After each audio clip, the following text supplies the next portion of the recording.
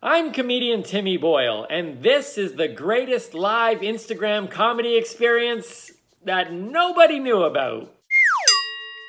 March of 2020, I just arrived home from tour when COVID 19 shut down the world. So, despite being severely technically challenged, I started a daily live Instagram show right here from my living room. Because how hard could it be? And how long could a pandemic last? Apparently, longer than five months. So now, a hundred episodes later, I've called comedians as diverse in experience as they are in style from all around the world to discuss comedy, life, and, well, whatever. I had no goals, which was a great idea. I avoided tech checks, which was a bad idea. And I eventually wore no pants. The jury's still out on that one. And my OJ, over 150 days, transformed from refreshing drink to rancid mystery liquid right before our eyes. It was a random, free flowing, hilariously messy ride into the minds and backstage lives of entertainers where anything could happen, and did, including a trip to a goat farm. Overcoming a lack of direction, resources, and tech ineptness, as well as multiple zombie cyber attacks, a project not expected to last even a week soon developed into a must watch show like no other. But don't take my word for it, see for yourself, right here on another episode of Calling Comedians into Quarantine. Is that it? Did we get it all? Awesome.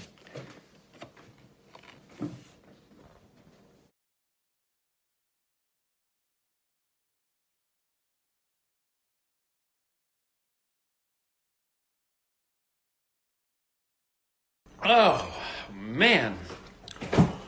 Well, seven o'clock once again, and uh, boy, that was a little bit of a rush. Uh, welcome to those that are coming in right away here. Um, I don't know if it's just because you were sitting around doing nothing and you're like, oh, hey, Timmy's going live, or if you're just kind of like, um, we got this on our calendar and we got a notification a half hour, half hour ago saying, no, we're got to be ready for Timmy's live show um, at 7 o'clock, but you guys are getting in here pretty quickly. Hello to all of you even I knew this was coming because for the last uh, 17 days, this is show 18 of calling comedians into quarantine. Um, it's been the same thing, 7 o'clock at night. And, uh, well, I can say honestly, uh, it was two minutes ago, and my son um, was watching me eat a taco and he said, uh, "Don't you go live uh, in a couple minutes?" And I said, uh, "Yeah, actually. Oh, right." And I looked over, and sure enough, um, my stove clock said it was 7:59. My phone said 7:58, and I was still trying to get a, a, taco down. And then I was like, "Oh, you know, I got taco in my teeth." So I ran to the bathroom and quickly brushed my teeth, and um, and then uh, then I was like, I don't even have a drink, and I, I grabbed my I grabbed my orange juice quickly on, on my way here, and I put the phone down. And currently, at this very moment, I still need to go to the bathroom. I literally, after 17 days of doing this show every day at 7 p.m., I um, I still uh, got snuck up on today, and I was like, "Oh, the show is gonna be starting." Anyways. Well, thank you for those who are coming in. Uh, we have uh, some regulars that I can tell on here, some um, some new people that I don't think have been uh, have, have come in to see the show before. Uh, let's just start it off by saying my name is Timmy Boyle from Upstanding Comedy, and you are currently watching Calling Comedians into Quarantine. It's episode 18. Uh, last night was our Q&A time with Timmy, as is the Friday night episodes. I have some great questions about comedy and life and quarantine. Um, and tonight we have Paul May, who is going to be coming in here in a minute. I'll be calling Paul May. And uh, like I said, hold on, I'm just, just trying to get myself caught up here. I know Paul is already in the house, and so you can all say hi to Paul because I know he's here, and uh, I'll be connecting with him in a couple minutes. But literally, bad idea to uh, try to wolf down uh, two tacos um, right before doing this show. Literally right before, like I have to go to the bathroom so bad. So this might be um, this might be kind of like a four minute show um, unless Paul, um, unless Paul just wants to kill time. But let's uh, let's let's bring uh, Paul May in here. Megan Dunlop, hello. Uh, Jenny Rump is in here. Crystal's Punny's here. Um, I think we saw. Let's see who else is in here. Let's just do a shout out here. Uh, I, I, like people's names, even though I know your real names on some of these people, but like Rumpal One and Joy Jeanette and Brown Girl into Plane and LeBrandon Marie, who we found out it's not a couple's account, it's LeBrandon and Marie, but or not Anne Marie, that's a whole different name, but LeBrandon Marie, that's a first name, last name. His wife's name is not even Marie. I thought it was a couple thing, but anyways, mine's mine's the real Timmy Boyle. That's just one person nice and clear. Anyways, uh, welcome for everybody who is in the sh- in uh, watching right now. Uh, Paul May Comedy St. Always saying hi to Crystal. So Paul May is here, but let's bring him into the show here. Episode 18 of Calling Comedians in Quarantine. We're going to bring in Paul May right. Let me introduce you to Paul May. There he is. Hey, hey, hey. Paul hey, May. man, got through uh, using the bathroom, so I'm good to go. How you? You've al- you've already used the bathroom? Yeah, I- I'm good to go, man. Yeah, I'm ready to go for a while. I I literally um, I, I should have thought about this. I had all day to know this was coming. I've had two and a half weeks of knowing this is this was about to happen, and I and I and I did not go to the bathroom before the show, so I don't know. You know, I don't know how much time you can fill while I while I run off. Like, is that something doable? But it, it depends. Are you? Is it number one or number two? How long would that? I need to know how much material I need to prepare for. You know, how many how many minutes? Uh, I I let's say let's say thirty seconds. Yeah, No, let's say 40, 45 seconds. yeah, man. I've got you, bro. I've got you. You need to go. have, I've never left, but we've said we've said right from the beginning anything can happen. We've had a tour of of Nashville. We've had a tour of a goat farm, uh, but I've never left this chair to go to the bathroom. Right. But I got I gotta go. You, you got 40, 45 seconds. You have a, t- a stopwatch? I've got you, man. Right here. It's right there. Okay, here. No, that that doesn't count, Paul. That doesn't count. I need legit time here. Come Oh, on. it- Yeah. I have in front of me, man. You're you, you have to you have to create your own stopwatch. When you're back, you're back. Okay, here we go. I'm watching my my my good old analog. It's counting down. 45 seconds. I will be back. I've never had to do this before, but I got to go to the bathroom. Here we go. Wait, wait, wait, wait, wait. Is, is that washing the hands included in that? Because we are under quarantine. One, go. Here we go. Go. So, hey, guys, uh, good to be with you. My name is Paul May. I am from Springfield, Missouri. I am a uh, full time comedian. Been doing the comedy thing now five years uh, full time. Uh, met Timmy a couple years ago at the CCA. Had a good time with him, and then actually got to spend some time with him in Canada uh, during the date night comedy tour, which was a lot of fun. Um, we did um, a lot of dates and a lot of cold temperature. And uh, so, yeah, so Springfield, Missouri, we're currently quarantined. So all of our shows that we would normally have on the road is currently not happening right now because, as you guys know, of this pandemic that's going on. So hopefully, us stir crazy comedians can uh, be able to have time to. Hey, Timmy, Oh, nailed it. Yeah. That's uh, Welcome back. that's uh, that's that's water from the uh, that's water from Right. Yeah. water from the sink. But that was literally 45 seconds on the dot. Hey, um, I don't know anything that you said there. Um, so I was uh, basically kind of giving an intro of who I am, where I'm from, and all that kind of good stuff. I just took care of all the formalities. Okay, cool, beautiful. Um, so uh, those who are all coming in right now, um, just for the record, my name is Timmy Boyle. I'm up here on top, unless your phone is upside down. That's Paul May down there on the bottom, and uh, you are watching episode 18 of Calling Comedians into Quarantine. So Paul May, um, wait, now you, were you just stretching or something? What uh, you just all of a sudden got up and now start moving around? No, I, I set my phone down, so I, I felt like I was pretty much licking the camera, so I scooted back a little bit. Oh, that's okay. Last night we had, uh, or a couple nights ago, we had Joby Sad on, and he was driving at the time. So this was our view of Joby Sad for most of it. He's got he's got beautiful eyes, by the way. Oh yeah, I absolutely. don't know if you've ever, I don't know if you've ever looked into Joby's eyes before, but No, is there uh, is there a comedian that you have worked with that um, when you met them in the green room, you were just like, oh, those eyes are amazing. Those eyes are amazing. I would have to say Andy Beningos. His eyes, he just uh, he just had those eyes. He's just got those. He's got that little teddy bear look to begin with, right? Mm. And then just his eyes just complement that teddy bear, and he's just that little gentle, gentle creature. You know, uh, funny on stage but gentle off stage. We had him on the show, um, I guess, uh, about a week ago now, and and you're right. I mean, I just I like he's one of the few comedians that I just I just wanted to just hug the whole time in the green room, like just yeah. just wrap your arms around him. Just want to coddle him, you know, and say, do you need anything? We're here for you, buddy." You know, and yeah, yeah. Uh, he he would be a great uh, with the toilet paper, the charmin, the softness, the gentleness. I think he would be a good spokesman for toilet paper. Interesting. That yeah, there's always questions like that that have always kind of uh, uh, made me very interested. Oh, by the way, um, my mom just popped in here, so just uh, keep it clean. Hi, his mom.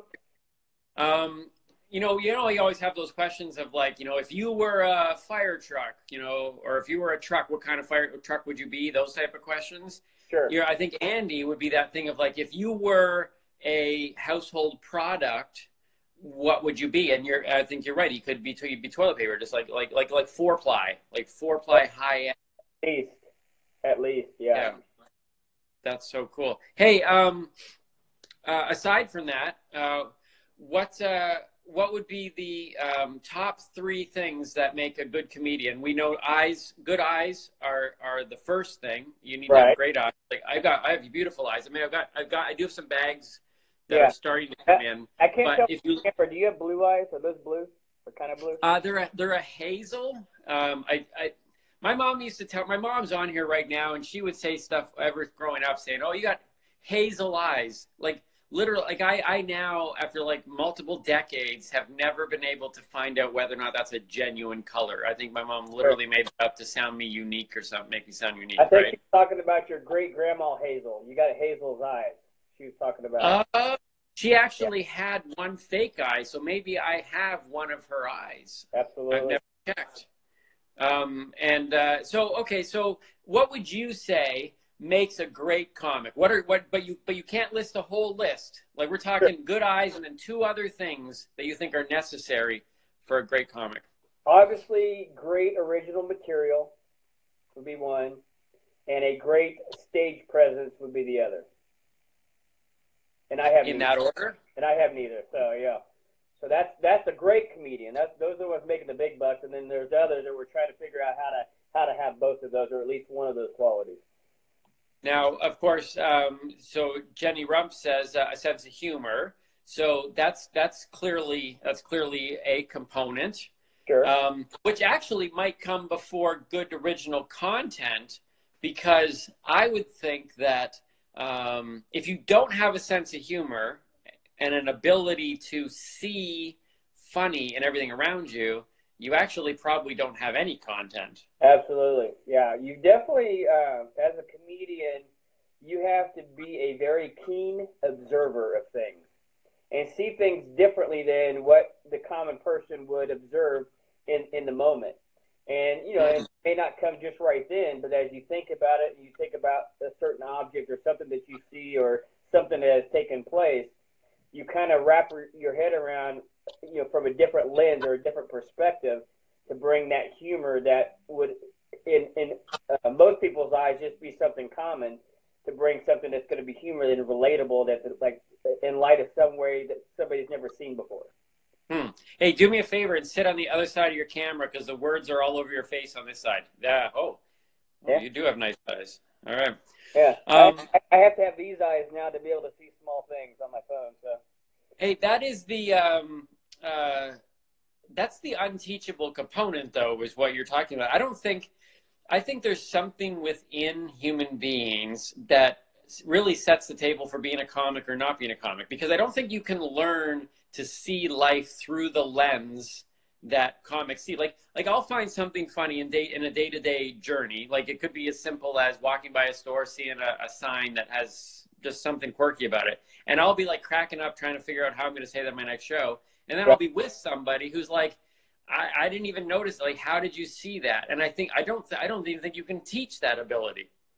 No, I, I, I don't think so either. I think um, you know there's a lot even people that aren't stand-up comedians, but I, I have a lot of very comedic friends that, you know, they're afraid of the stage, they're afraid to, you know, be in the limelight.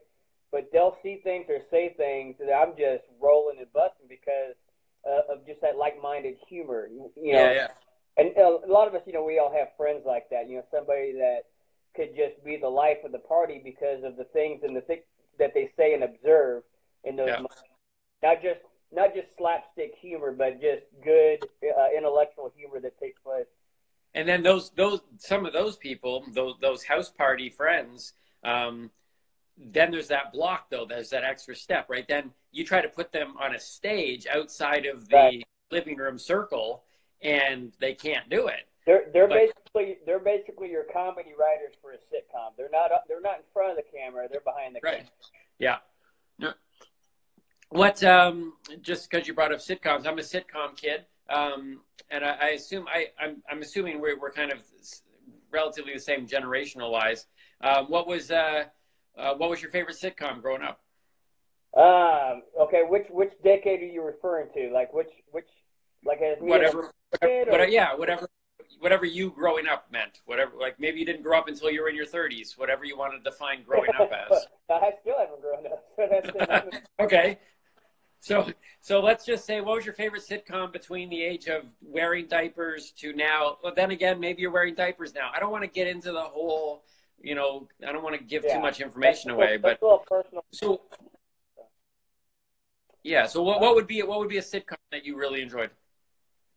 Well, it's not necessarily a sitcom, but it's a cartoon in a sitcom. But The Simpsons was, and, and it's multi generation. I mean, I, this I think it's still. I haven't kept up with it, but growing up as a kid and you know being you know watching the Saturday morning cartoons and whenever Simpsons came, there was like a whole different genre because it it touched based on the current issues of, of that day of that era, and so you could go back you know even 30 years from that you know uh, from now and, and uh, look at their beginnings and just kind of see what was going on politically, culturally, you know, socially in that era, and see the Simpsons make fun of it in certain situations and stuff. And uh, and that, that's something you know I think that's why it's had its longevity is because they've been able to kind of uh, take humor from the moments. It could have been a crisis at that time. It could have been just uh, you know you know two presidents running against each other, but they've been able to find humor uh, just through a, a cartoon and the characters and and uh, just through observe, observation humor of what they've seen in their news media. Um, I think you can also see that uh, that they also talk about what's happening in the future. Have you seen all the things that show that the Simpsons actually not only talk about what's happening now, but to talk about what's going to happen? They, they predict President Trump getting president, and that was like years ago. There's like a picture of like Donald Trump, like with with like a Saudi prince and some other dude around like this what looked like a mystical ball or whatever, and that picture was actually in the newspaper, like when he became president. You're like, what? And that was like drawn. Right. Yeah, yeah. They have they. That's not just like. Like, quite frankly, if, if you look at the old art Uh-huh. and to see where they came from stylistically, you Yeah. know there's alien influence in that. Like that technology doesn't just develop. Exactly. So they they're Definitely, they they're- they're time travelers as well. yeah. Um, we got some people throwing in uh, married with children. Um, I assume there's a, a spelling error there. I didn't remember watching Married with. Didn't really like me watching that because I was a kid whenever that came out and everything, and that was a little bit too risque for for my eyes at that time. I was uh, I was a super big fan of uh, Christina Applegate on that one. Um, the Big Bang Theory. Um, but Yeah. did you ever you you watch the Big that I can I cannot believe that that show lasted ten years. Yeah. No offense, Joy, but the first two years I thought was super cool, very unique, funny, and then um, eight years of of formula. We were talking. Do you know Joel Madison at all? I do not. Joel Madison um, was one of the writers on Roseanne, and uh, he was on our show uh, last Saturday, and he was talking about how every every show on TV now follows this formula, Right. and the good shows um, we were talking about that you forget that there's a formula. Same with a comic. Like you go on the stage, if a, a good comic will make people think that they're literally telling these stories for the very first time, and yet we're all following things like setup, punch, tag, those type of, of formulas. So I saw like a show like The Big Bang Theory. For me, um, the first couple years, you didn't even notice the formula, and then it just became formula. And no, no knock. I mean, every to each their own. But. Uh, our impulse is all in the family. That was a great show, Archie Bunker, and uh, and that was a very um, in today's culture, man. Uh, especially with how everybody gets offended these days and stuff. I don't know if that show would be able to to make. I know they've done a remake with the Woody Harrelson. I haven't seen. Have you seen any oh, really? action with that? No, I, ha- I haven't. Um, but All in the Family. I mean, that, what made that so good was because even though it wouldn't be done, it was ahead of its time then too. The stuff that Archie Bunker was allowed to say on that show um, really wasn't acceptable in any time, and yet yet people gravitated towards that character. Yeah. Um, and it just it, it was a testament to good writing because people have asked, you know, like what's off limits for comedy? I don't think anything is off limits. So the question is, how do you present it? And that All in the Family was able to hit these issues, these deep societal issues, in fact, um, that uh, that were happening across America. Um, but they did it in such a way that everybody was able to to embrace it, as opposed to um, going, you know, who's this, you know, yeah. kind of. But and we got Elf thrown in here too. Elf, Elf. Yeah, uh, for me too. Um, you know, I gravitated towards this comedy because it was situa- it was situational comedy. But like when the stand-up comedians, uh, whenever they resonate with an audience, and we tell a certain joke, uh, maybe it could be a story form joke or something that has happened, and it becomes relatable that other people can uh, identify with. To me, right. the sitcom for me, because of my wife, I've been married now for for 25 years, but just the the personality and uh, of of the two characters was everybody loves Raymond and, yeah. so so for me, I, I really enjoyed that show because of the banter and back and forth between the husband and wife. Because there's a lot of situations that happen in that show that my wife would just, as we're watching together, give me the elbows, like, uh huh, see, see. You know, you're just sitting there laughing because you relate to it so much. Uh, Three's Company has been thrown out here. Mary Jane Baker is saying to remake a Three's Company. I mean, you want to talk about great, great um, I mean, that's a great sitcom in general, but but um, John Ritter oh. uh, um, is a. I think he's I, he might very well be uh, an underrated. I know there's a lot of people that appreciate John Ritter, and he died yeah. way way too early. But um, that that is a, a, severely, I think, in general, underrated comedic force. Uh, this you know his physical comedy was right up there with you know Tim Conway, Chevy Chase, any, any all of those guys. Oh, um, yeah. he could do a fall over a couch uh, as good uh, or better than than almost anybody. Yeah, yeah. What the uh, Carol Burnett show, man? That was we Tim Conway, the Carol Burnett show, hands down one of the funniest uh, shows I got to watch because it was just funny watching the you know Tim Conway's whole thing was to try to get his his other uh, characters in the, in the thing to, to break. You yeah. know, that, that was his motive every time, and and it just and he, and he did it when those characters did break those are some of the best episodes. Um, so how about on stage? So that worked really well in in that show, and in fact, some of the greatest episodes in the Carol Burnett show um, was um, when the cast caused another person to crack up. How do you feel about stand-up comics who laugh at their own jokes or create that sense of you know where, where they break their character? How do you how do you feel about that on live live on stage? I'm not a fan of that because to me that's not authentic. Because to you know, whenever somebody's breaking character in a sketch comedy and they're actually breaking because of uh, what was said by that person and they can't right. that composure, that's humor. But if you're like, you know, you're telling a joke and like,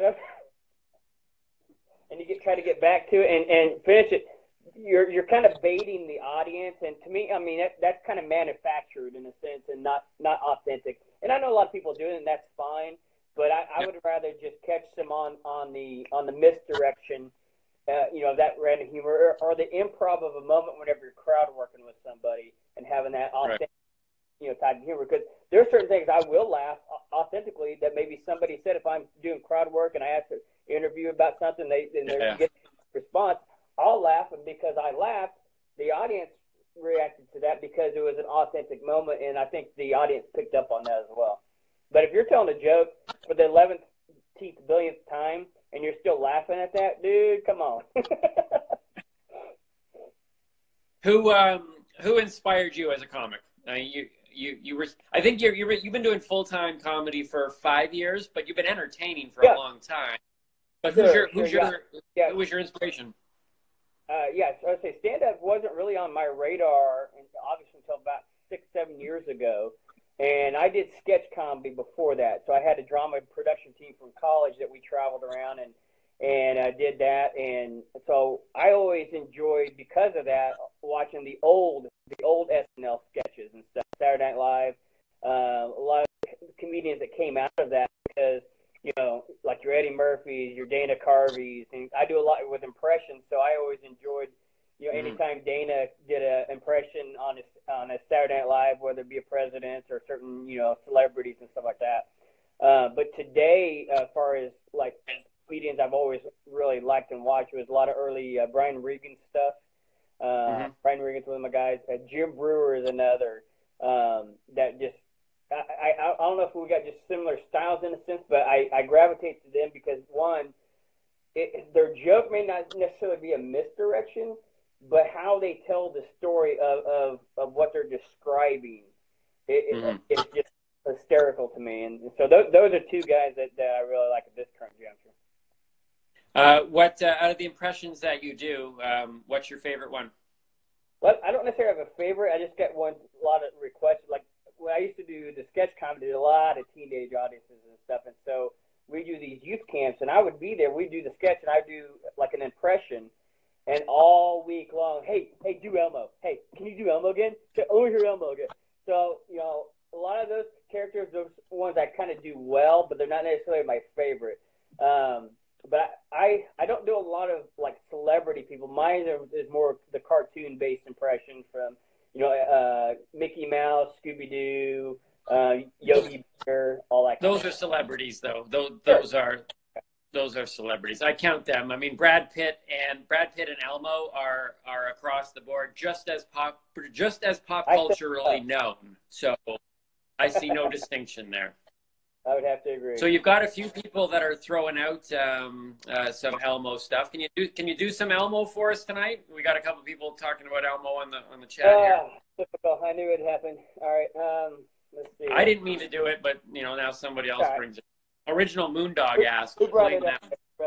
Oh yeah, Robert. Uh, before I do Elmo, Brian Regan, the emergency room. That is the gold one. That's that's one of his classics. That's why I say is the early Brian Regan stuff. That whole stand-up uh, show from that time, the emergency room and the girth and all that kind of stuff. That's one of my favorite uh, uh, stand-ups he's done. Oh, oh right. wait, here. Um, do you um before you do Elmo, uh, do you know um the movie Ocean's Eleven? Yes. It's one of my favorite movies all time. And do you know any of the lines from Ocean Eleven? Oh man, it's been years since I've seen that. So no.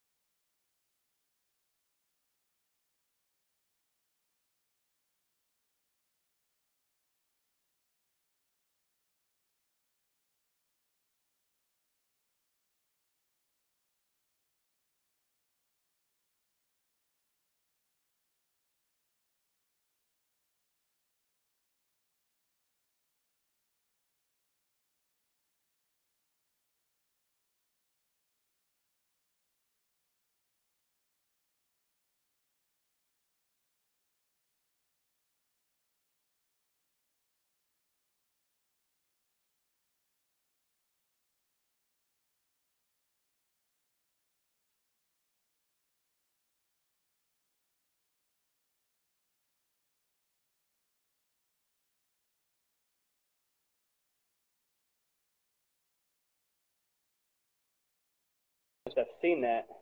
So no. Huh. Okay. Um, say this. Do an Elmo. I don't even know if this is a real. Wait. I don't even know if this is a real line. Wait. Okay, do something to Elmo, and then I, am going to look up something in particular here on this other phone. Do something that you that I'll you do would do with Elmo. I'll do a Clint Eastwood line. Oh, okay. You ready? Yep. Elmo just want to say, do you feel lucky, Puck?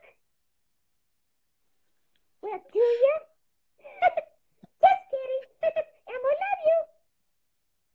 So, love you. how like literally anything that you say in Elmo's voice can be funny, right?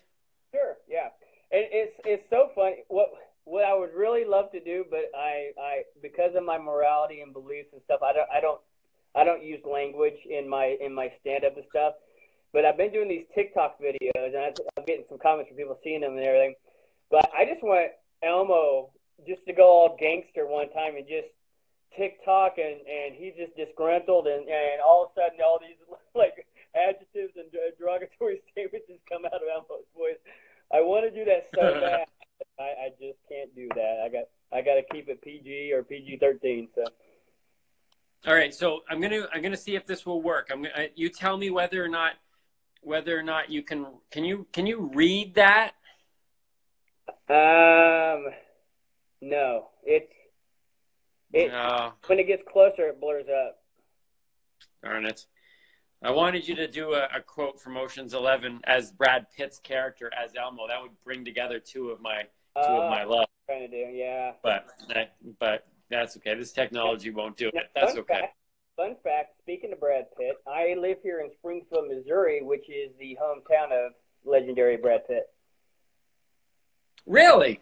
Really is. Yep, my kids. Uh, my kids go to the high school he went to, and all. The, his parents still live here in town. So Wait, is there- coming in? It's not uncommon for people to spot him in the mall or something. Who is the non-legendary Brad Pitt? Oh, the non-legendary Brad Pitt. That's a good question. Um, that would be uh, Joaquin Phoenix. I don't know. Joaquin Phoenix. um, okay, so um, you now you now uh, you you do professional stand up. You tour across North America. You've even been up here in Canada. We had you up here on on date night. I did a show with you um, in St. Catharines. I think we did a taping there. Um, how many times have you been up here in Canada? that was my first tour in Canada. So January was my uh, my first guess. I'm having to do this because I'm getting text messages. I'm having to swipe up because the screen is leaving you. Um, but yeah, uh, yeah, January is my first time in Canada, so that was a really cool experience. Lit- literally cool experience because it was very cold there. So I think then it was, and you were here for you were here in through through February, right? Yeah, part part of February, I basically had about uh, three days off after I left uh, Canada, and then I went to Provo, Utah, and shot my dry bar special. So soon after you left, all of a sudden this COVID nineteen thing starts unleashing itself on our nation. Do you do you think there's any coincidence? I think if there is a coincidence, it's all Joey Aiello's fault because he Hmm. was very sick before he went to Canada. And then I wound up touring with him for a few dates and then rooming with him. And then while I was in Canada, and we're going to blame me walking outside in the cold for about a mile to a mall just so we can get some food.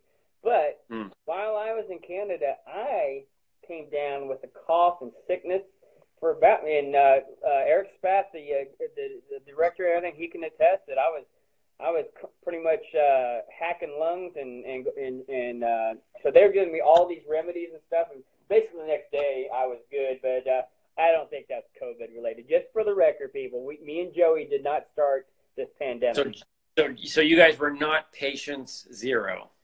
no, no, we we didn't. Okay.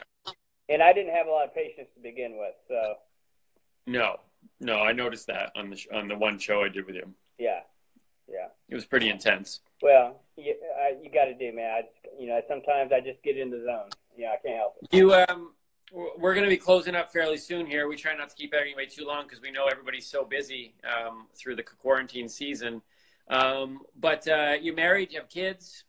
I am married. I got two kids. Uh, my wife and I, we actually, the funny thing is, um, you know, we just celebrated our 25 year anniversary here in March, which originally our plan was to go to Cancun. We wound up not scheduling it in March. We were going to try to do it at a different time. But our uh, our anniversary of 25 years uh, has been spent at house, at home. So, and uh, so that's uh, we're gonna have to we're gonna have to have a makeup date if you know what I mean. So, and then yeah, I got two. So boys. does it Do does it kind of feel like does it kind of feel now that maybe you're celebrating your 30th now? Like how like how how has this one month felt? Has it been a five years kind of added to your marriage? honest, if I'm quarantined much longer, my wife is not going to let me celebrate our 30th, if that, if you know what I mean. So, once a comedian, always a comedian. So she's my captive audience at this moment. So my outlet literally has been social media or TikTok videos or something just to try to buy my time and be out of her hair for a while. And she's kind of, actually kind of joined in a few videos with me, so that's been a lot of fun. And then I got Do your- two your- teenage boys, 17 and 13. Do they like your comedy? Yeah, actually they do. That's how uh, I never uh, if if I'm gonna have it if I have a new bit that I want to try out on on stage and everything, I never I never go to my wife and tell that bit to her because her her always response is an eye roll. But if I tell if I tell something to my boys and I get a genuine laugh for them, like, dude, I know I've got a good bit because they'll they'll, they'll be they'll, they'll tell me if not okay okay you know okay boomer don't go with that one you know but they'll they'll let me know if something's good or not. And so I, they're kind of my they're kind of my gauge before I kind of try it out on stage. I actually have a few people in my life that um, I kind of go the opposite with because I enjoy kind of the quirky, off the wall, kind of dry humor. And so Uh-huh. I've got a few people in my life that if I tell them a joke and they just go, I don't get it, I'm like, that is gold. I am taking that to the stage. Like, like if, if they don't respond, that's when I, I know I've got something. Yeah. Yeah. How are you? Uh, how are you surviving quarantine in general? What uh, what do you, what is the, um, the the May family do when you're stuck um, indoors with each other? So as you say, literally just this last week, I finally and people have been telling me try to do all the time. Like you should just you know make little videos. And of course, Facebook's a good platform, Instagram. But I finally just this week downloaded TikTok, and uh, Nice. and and for me, growing up doing sketch comedy and stuff like that, it's kind of a, a fun outlet because I can, you know, think of something and like, oh, that'd be a fun little TikTok video, and it's probably stupid and moronic and stuff, but it's just it's, it's been my outlet just to kind of make my instead of just watching TV all the time or mowing the yard or wife making me do housework or like that. I'll I'll try to make some TikTok videos to to pass the time, and of course we've been playing board games with the kids and chess and all that kind of fun stuff. What? Uh, so where can people find your TikTok? What's it under? Paul May Comedy. Yeah, just Paul May Comedy. So any of the social medias, I've got uh, Instagram, Twitter, Facebook, and now TikTok. Just type in Paul May Comedy. It should pop up for you and hit like or follow, whatever it has you to do. So I think today today or the the one that I just saw recently. I don't know if it was today's, but uh, it's got a you got like light bulbs sticking up your nose doing doing a Oh, song yeah. like that. actually, That's super impressive. they're literally sitting right here right now. These are They they went up. They went right up your when nose. you turn the lights off. That, you know, really bright. You probably see that right there, huh? So Yeah, yeah. There's a little song called "Dueling Banjos," and I played the part of the banjo. But Wait, so that one there, right? Yeah. Yeah. I need to give these back to my wife. She uses these. I don't know. So. All right, cool.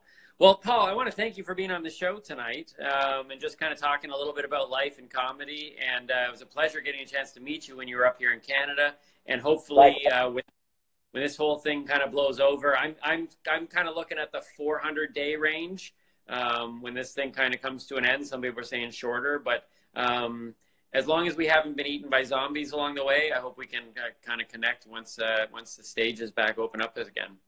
Right, absolutely. Yeah, looking forward to it. And uh, yeah, man, I I hope it's less than even 400 days, man. I don't know how long I can stay in this. Um, Do you have, have you seen zombies where you live? Um, Walmart. Hmm. They like they like to stay there. And I saw those way before the pandemic. They've always kind of been traipsing around in there. They come they come in all shapes and sizes there. Those They do. It's tricky. Um, can I can I leave with you one piece of advice that I try to leave with all of my guests? Uh, the when I'm stuck here in my home, um, I just I want to number one provide the gift of laughter. I try to do that with with content. I also want to give people just a look into the offstage lives of of comics, but I also feel that I have to spread my message and let people know how to be safe when the, the zombie apocalypse does uh, completely unleash itself. And if you could Yeah. just pass on to the people in your neighborhood and your kids in particular I'm gonna write that that. uh, that zombies um, they'll offer you things for your brain, and um, very few things are worth your brain. And so, if you could just tell tell everybody um, to just say no to zombies, no, uh, no. just say no, and because because Paul, this is important. Your brain, it's for Uh-huh. thinking, not it's not for eating, right? So it's just very important Yeah, that people know the brain.